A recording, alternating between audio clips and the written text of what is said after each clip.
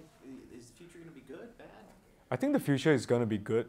Um, I feel that, you know, when it comes to the internet and, and, technology, we have a lot of things which are going for it. For example, things are getting cheaper, uh, computers are getting more accessible, um, broadband access rates are getting faster. You, you, you're now starting to get like Wi-Fi everywhere.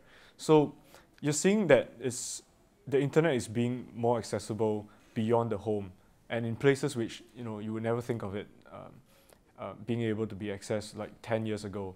So I feel that there's a lot of um, um, potential for it, a lot of potential for new applications.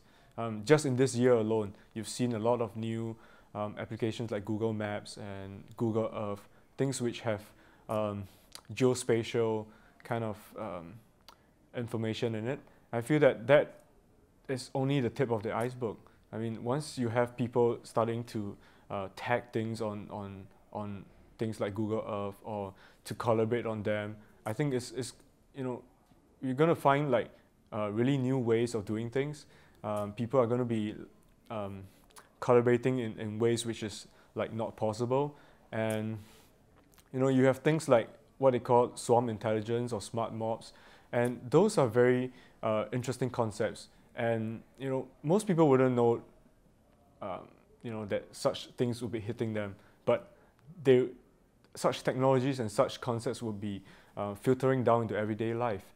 Um, they'll, they'll start seeing it in, in their phones, um, in the PDAs that they use, in the computers that they use, and uh, gradually, you know, the, the way they, they work and the way they interact with people is going to change a lot. Um, just like, you know, 10 years ago, without the internet, without IM, without um, social networks, you know, people didn't have ways to interact with each other as much as we did right now. Um, right, but right now, you know, you, you can use um, what's available on the internet. You can use the software there to discover things which you would never have been able to do so. Um, like right now, you can use social networks to discover friends, to discover, discover friend of friends. Um, and most importantly, with like things like search engines and blogs and, you know, uh, things that link things together, they allow you to find friends which are um, which have the same interests. And that is very uh, special to a lot of people because people naturally um, want to gravitate towards, um, you know, people that they know or people who have the same interests. So they they like this kind of things, and I think the internet is ena enabling people to group together in such niches, and in in ways which has never been possible before. And so that's what I feel about the internet. I think it's very good good prospects for the future. What do you, what do you think is out there way in the future of technology? I mean, there's been talk of mm-hmm. artificial intelligence at the conference mm-hmm. and a singularity where every, you know, all technology comes together. Mm-hmm. What, what, do you think about that? Well, I think it is a very far off concept. Um, for me, I I'm very interested in like internet and the realities right now, or maybe in the, in the next three to five years, and um, yeah, it's it's a good idea to think of like you know, technologies which would happen like 20 years away, 25 years away. But it is very difficult for most people to understand or phantom, or you know. So um, what I what I think of would be, you know, where the world would go in in the next few years, and I think that uh, we we have a lot of um, um, basic technologies. Like right now, the, the what they call the Web 2.0 I think those, that is changing the way um, the internet is working. Um, you have like Ajax-enabled applications. You know, you have like rich clients on, on your browser. That that is fundamentally taking software away from the desktop onto the internet.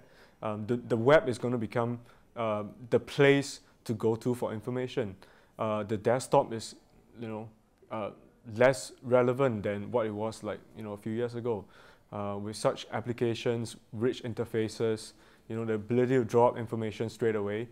Um, I think we're going to see a lot of, uh, you know, new ways of, of interacting on the web. And, um, you know, I, yeah, that's, that's it, yeah. That's um, mm -hmm. What do we need to, what do we need to look out for? What, what, what's, what scares you or think, you think we should be cautious of? I think what scares me right now would be um, the way the word can get around the internet very quickly. Um, I think in the past two or three years, we've seen the rise of blogs. And I mean, I think the latest statistics I, have heard is that there are like 15 million blogs around the world. And it's a, it's, it's a whole new way of uh, passing information around. You know, it is a rival to traditional media. And previously, when companies, uh, you know, screwed up or something, they could easily cover up or something. But with blogs, it just goes around the web like wildfire. And uh, damage control is very, very difficult. So um, I feel that that has both um, positive and negative impacts. Negative because those who are affected by the negative news will definitely be brought down very, very fast. Um, but on the positive side, you know, uh, you things which traditionally would, wouldn't have been revealed, you know, can be exposed through such technology. So I think that that has, you know, it has both the positive and negative. Um, I think the other thing is privacy concerns. Um, right now we have like a very unsecured web, and I think that it's very easy to, you know, lose your information or be, you know, susceptible to identity theft.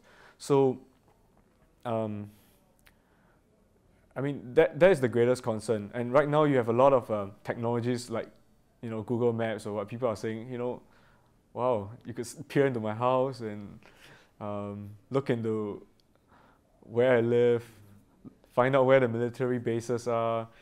So um, it, it, presents a whole new uh, level of challenge to everybody, from the consumers all the way to, to the governments. That's what I feel. What haven't we talked about that, that you want to say about all of this? What haven't we talked about? Um,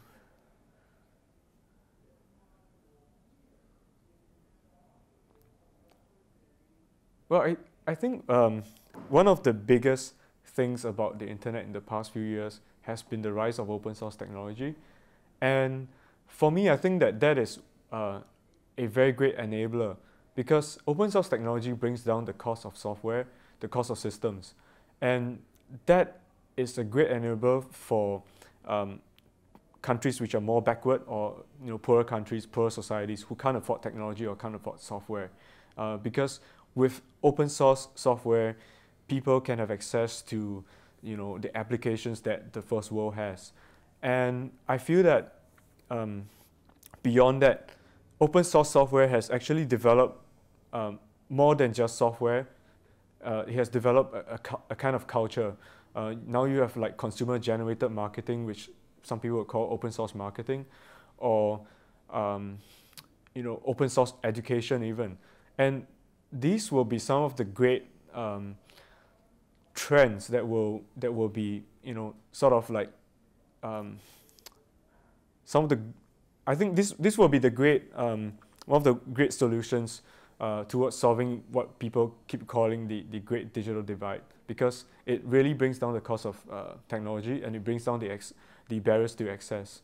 So um, uh, millions of people around the world will have um, much better access and a much better chance to to live better, to to you know to learn about things and to you know bring themselves out of the poverty that they're, they're facing. So that's what I feel.